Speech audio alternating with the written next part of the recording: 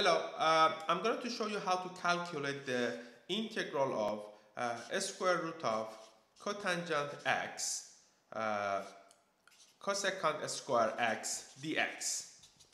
So to calculate this integral, you need to use the substitution rule.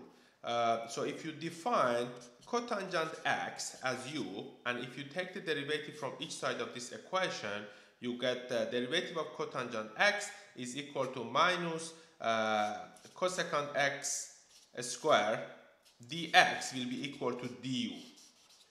Therefore, cosecant x square dx will be equal to minus du. So now if you substitute this into this integral and you rewrite this integral, you will get in instead of square root of cotangent x, I, I write square root of u. In instead of cotangent x, I just put u.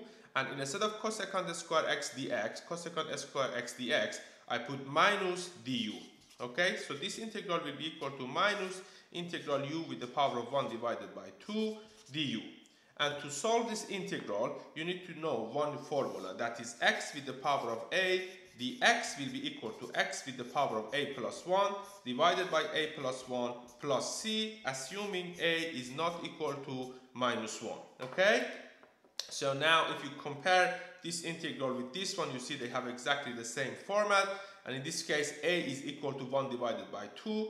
Therefore, you can use this solution to solve your integral, which will be equal to minus u with the power of a plus 1, a is in this case is 1 divided by 2, plus 1, it will be 3 divided by 2, divided by a plus 1, that is 1 divided by 2 plus 1, which will be 3 divided by 2, plus c, that's the constant of the integral, which will be equal to 2 ser, uh, sorry, which will be equal to minus, uh, minus uh, 2 ser u with the power of 3 divided by 2 plus c. So at this stage, all you need to do is to substitute the value of u by this um, definition you had at the very beginning, which will be equal to minus 2 divided by 3. Instead of u, I put cotangent x with the power of 3 divided by 2 plus c. And that is the solution to this uh, integral. I hope uh, you found this video useful. Uh, I will upload more examples to this channel, so if you are interested, please feel free to subscribe.